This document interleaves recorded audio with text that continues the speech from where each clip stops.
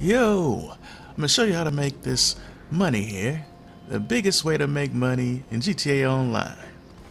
This is the Pacific Standard Heist. And this is the first mission, Vans. This mission is pretty easy to do. It requires two players in the same vehicle, or one player if you are the navigator. You can drive yourself to all the locations, and you snap the license plates of all four of the vans that you locate out here in the streets.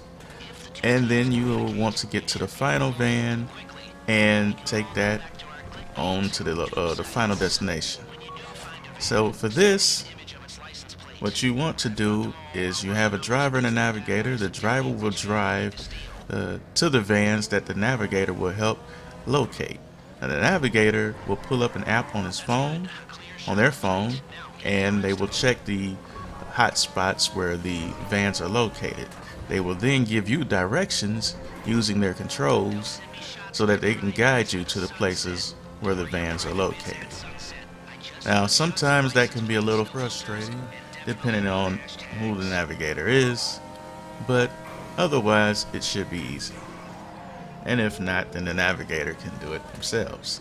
But what you don't want to do is you don't want to tip the van in any way.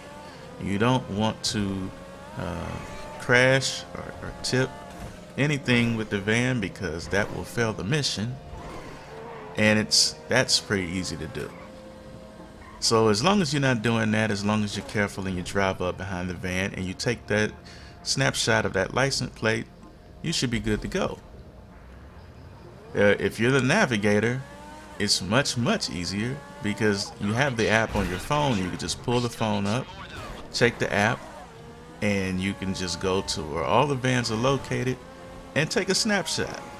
Very easy, very simple. But you should also let your player know, uh, your uh, the person that's riding with you, that uh, this is what you're doing, so that they will know and they won't be sitting there like, well, what's going on?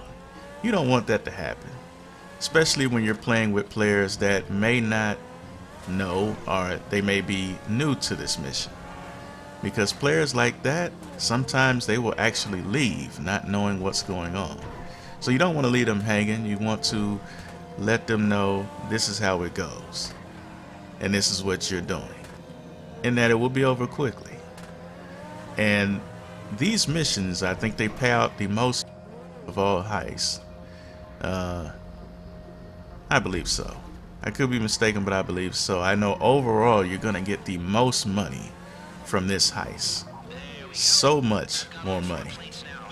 And what you want to do when you get to the final van, you want to make sure that you snatch the van in a way you that you'll be okay with uh, snatching the driver out of the van so that everything goes smoothly. Because what will happen is the driver if he senses that that's what you're doing he may try to drive off. Well he will try to drive off. And as long as you can get him up out the van without any shooting everything's okay. If that doesn't happen then you will have to shoot him just don't make too much of a mess with it if you do have to shoot him you'll get a wanted star but you can be cleared of that pretty easily.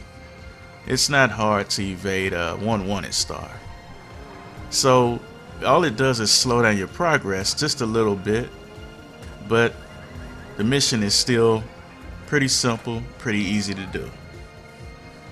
So sometimes you may want to nudge your uh, the, the player that is driving the van. You may want to give them a little nudge in the back just to make sure that the van gets a little bit more speed because the van is slow. And giving a little boost will allow them to get to the destination quicker.